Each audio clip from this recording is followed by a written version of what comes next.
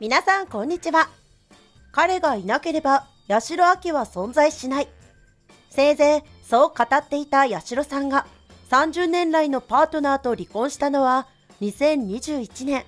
古希を迎えた節目の年の大きな決断でした。直後に彼女を襲った病魔は6000人に1人と言われる難病。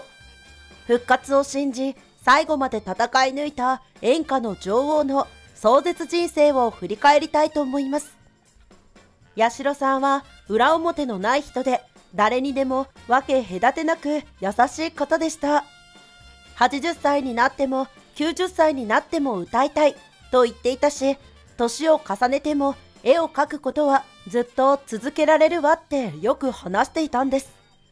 今もふと彼女から先生のアトリエに行くよって連絡が来るような気がしてならないんですよ。涙を飲んでそう語るのは昨年12月30日に肺炎で亡くなった八代亜紀さんと30年来の交流がある画家の市川元春氏。八代さんが歌と同様に情熱を注いだ絵画の詩です。体調不良を訴えた八代さんが病院で膠原病に加えて急速進行性間質性肺炎と診断されたのは昨年9月。治療に専念するために芸能活動を休止し、必ず戻ってきますので待っててね、と宣言しましたが、その言葉が実現することはありませんでした。入院中の八代さんは、一日も早い完治を目指し、懸命にリハビリに励んでいました。元気になって早く絵を描きたい、コンサートもやりたい、と周囲に語り、活動再開に意欲を見せていましたが、亡くなる数日前に容体が急変し、関係者に見守られながら静かに息を引き取ったのです。と話すのは、八代さんの知人。1月8日に営まれた密葬には、八代さんの親族や仕事関係者など30人ほどが参列したといいます。前室の市川氏が次のように振り返ります。普段と変わらずお綺麗な顔のままでした。棺に彼女が油絵を描くときに使っていた絵筆を何本か入れてあげてね。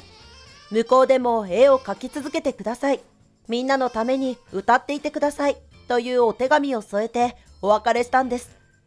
酒もタバコもやらない彼女にとって絵は一番の趣味でした。入院前に会った時は今年の活動について話し合ったし、フランスでの展覧会の話も出ていたくらいだったので、まさかこんなことになるなんて。愛する人々に囲まれて旅立った八代さん。しかし、お別れの場に30年以上の年月を共にした元夫の姿はなかったと言います。日本の音楽史に残る名曲、船歌や第22回日本レコード大賞を受賞した雨の墓場などのヒット曲があり、演歌の女王と呼ばれた八代さん。デビューは1971年の21歳の時でした。中学卒業後にバスガイドとして働き始めましたが、歌手の夢を諦めきれず、地元熊本のキャバレーのステージに立ったのが初舞台。父親の反対を押し切って家で同然で上京し、銀座のクラブで歌うようになったといいます。その時、同じ店で歌っていたのが、後に極発戦争と呼ばれたライバル争いを繰り広げた五木ひろしさん。彼の紹介で所属した事務所から愛は死んでもという曲でデビューしました。八代さんの名を広く知らしめたのが1973年に発売された4枚目のシングル涙恋。愛感漂うハスキーな歌声が話題を呼び、120万枚を超えるヒットを記録した同作で NHK 紅白歌合戦に初出場を果たしています。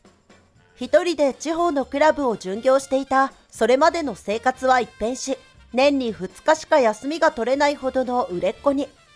それでも給料は上がらず、後に本人が70億円売り上げたのに月給はずっと5万円だったと振り返っていました。と話すのはあるレコード会社関係者。その後も次々にヒット曲を送り出す八代さんをマネージャーとして支えたのが、後に伴侶となる A 氏でした。A 氏は元歌手で、年齢は八代さんより5歳下。仕事で芽が出ず、田舎に帰ったところを八代さんに引き戻されてマネージャーに転じました。以来、10年近く裏方として彼女を支え、1987年に八代さんが事務所を独立した際も行動を共にしていました。1994年に結婚した時、八代さんは43歳でした。結婚するなら A 君がいいと言っていた亡き父の勧めが彼女の背中を押したといいます。A さんは八代さんのスケジュールを管理し、講師ともに八代さんの全てをサポートしていました。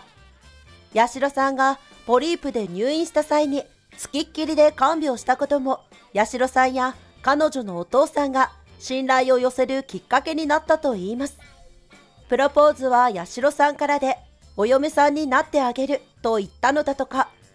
当時、ハワイオアフ島で行われた結婚式を取材した芸能リポーターの白下隆之氏が次のように振り返ります。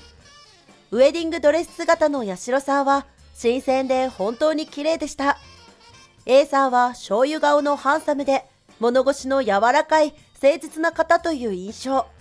どちらかといえば八代さんの方がベタ惚れだったように思います。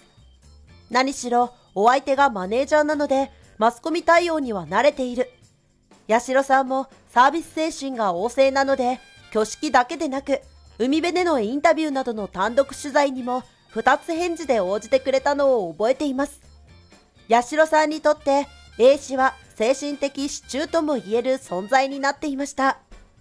別の芸能関係者は彼女は生前、健康の秘訣はストレスをためないことが第一だと語っていました。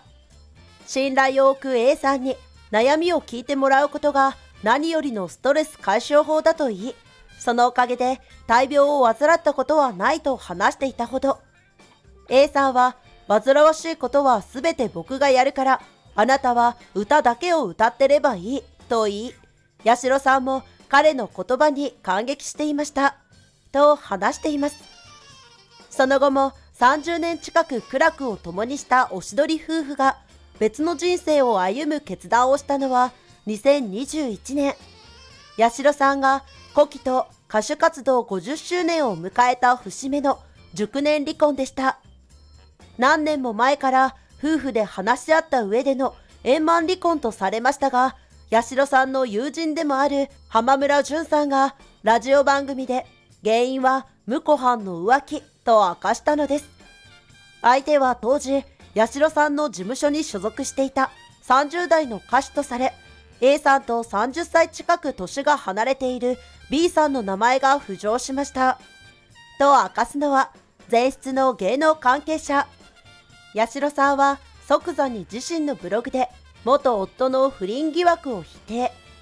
B さんもブログで八代さんが否定コメントを書いてくださいました。と報告しましたが、その後も八代さんが離婚の真相について語ることはありませんでした。続けて、前室の芸能関係者は、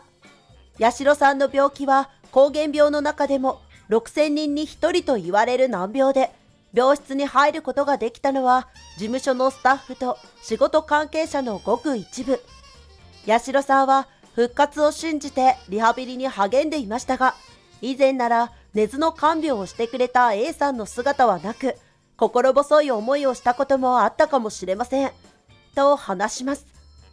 心の支えだった最愛の夫との離婚により、孤独な晩年となりましたが、それでも彼女の周りには、信頼するスタッフや大勢の仲間がいたそうです。病の公表から120日余り、戦い抜いた八代さんの最後は眠っているように穏やかな表情だったといいます。最後までご覧いただきありがとうございました。